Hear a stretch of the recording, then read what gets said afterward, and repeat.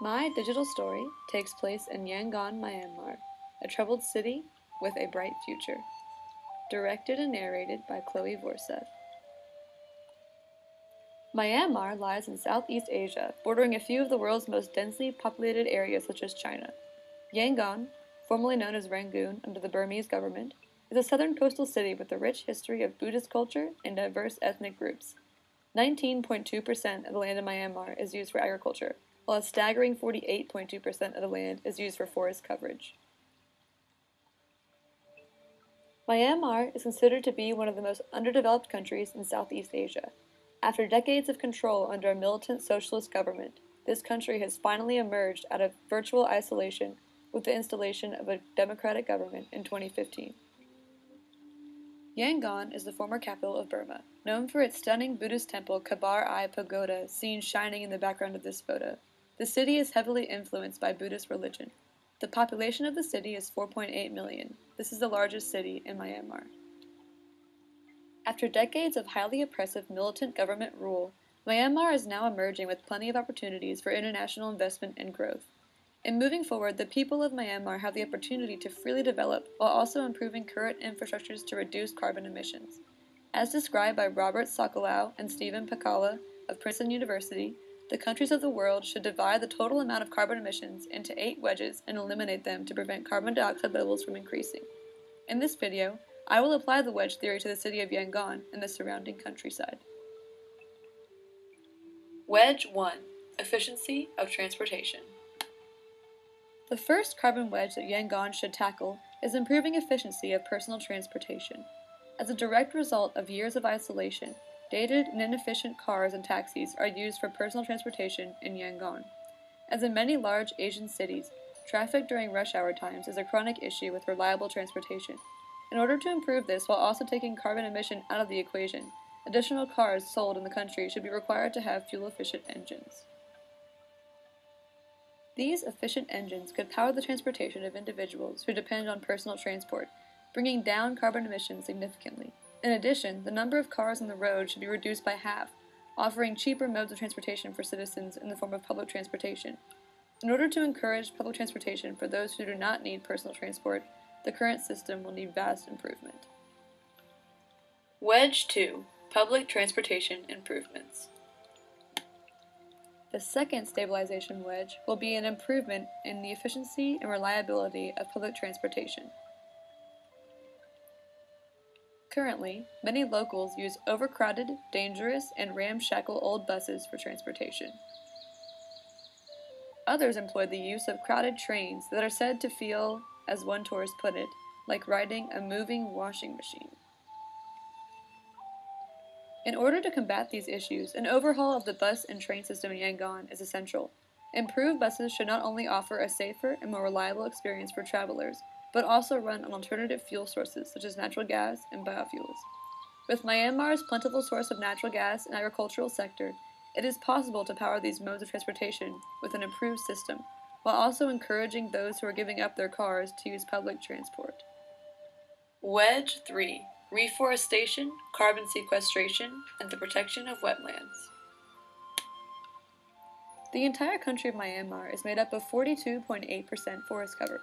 The unprecedented level of biodiversity in the country is drastically important for the sake of conserving biodiversity, as well as for protection from storms and the sequestration of carbon. Unfortunately, Myanmar has the third highest rate of deforestation in the world, according to the United Nations. Because of this issue, the third stabilization wedge is to completely halt the rate of deforestation in Myanmar, especially in mangrove swamps. The issue of deforestation stems from a combination of subsistence use of forests and cutting for the sake of distributing valuable tree species such as teak. When trees are extracted from the land, carbon sinks are eliminated from the environment with the halt of photosynthesis. To combat this reduction in carbon sequestration caused by deforestation, companies allowed to log in the future of Myanmar will have strict land restoration requirements. In and around Yangon, which is the largest emitter of carbon in the country, tree planting operations, mangrove wetland conservation, and green roofing will effectively bring down carbon emissions and protect this coastal region from storms. Wedge 4 Cyclone Readiness. Stemming from this same idea, the fourth stabilization wedge is to improve Myanmar's cyclone readiness. On May 1, 2008, Yangon experienced its worst cyclone in recorded history. Cyclone Nargis killed 84,500 people, affecting 2.4 million people countrywide. In a world environment that is increasingly changing to produce more severe storms, Yangon is vulnerable to the impacts of more storms like this. International relief efforts, rebuilding of entire towns and agricultural areas, and relocation are all sure to have a huge carbon price tag. In order to reduce the impacts of storms like this and the resulting rebuild of infrastructure using vast amounts of carbon, all structures, including public buildings and residential areas in the city, should be reinforced with sustainable and durable materials. Wetland areas, which serve as natural buffers against storms, should be restored where depleted and conserved where intact. With many in the impoverished community of Yangon living in informal settlements such as this one, Efforts to rebuild more durable dwellings could ready the city for future cyclones. The next three wedges will focus primarily on the sources of energy that Myanmar uses. To understand these, one must first understand the ways that Myanmar produces energy. Biomass is largely the source of energy for most people in the country. This means that people are likely burning wood for heating homes, cooking, or warming water. This is one of the reasons for deforestation in the country. Because Yangon is the most developed area in the country, many citizens use other sources of energy, such as hydro, gas, oil, or coal. As the country develops, it will likely diversify its energy portfolio. As only 52% of the population actually has energy, many in the future will need access to electricity. Wedge 5 Hydropower Development Hydropower already makes up for 75% of energy use in Myanmar. This means that the country is doing well on this front for the production of energy. However, about 50% of the population of Myanmar doesn't have access to electricity. As the number of citizens with access increases as a result of development, more energy will be needed from these systems. Though hydropower is a renewable energy source, the manipulation of natural water currents for energy can be environmentally destructive. In order to decrease the impact of hydropower development on fishermen, the environment, and other communities, current hydropower plants should be made as efficient as possible, and other forms of energy production should supplement this work. Wedge 6 Energy Switch to Nuclear Energy. This energy supplementation could come in the form of nuclear power plants.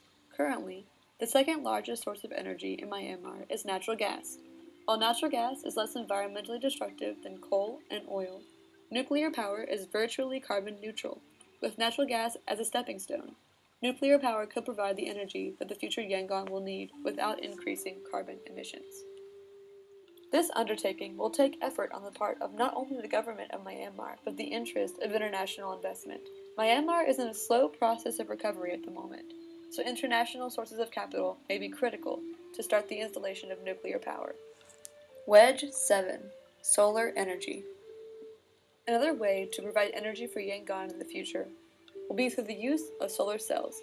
The desert region indicated with the orange arrow will be home to an extensive operation. In addition, the other 50% of citizens without electricity in Myanmar will have access to clean power. The sun is the single most important source of energy on our planet and the potential for it to power simple things such as water heating, cooking, and warmth is immense. Simple solar cells could impact Myanmar in a positive way, with the introduction of more powerful solar generators in the future. In remote villages in Myanmar, solar energy could provide the energy needed to perform daily tasks. All of this will not be possible, however, if the government infrastructure of Myanmar does not improve. Without a strong infrastructure, none of these wedges will be possible. This is why I am including efficiency of government as one of the eight stabilization wedges. Without the support of strong government, none of these wedges can come true.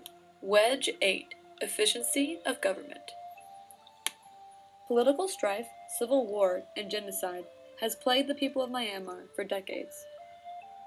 Unlawful imprisonment of innocent people, strict censorship, militant rule, police brutality, and corruption have made Myanmar isolated and separate from the rest of the world.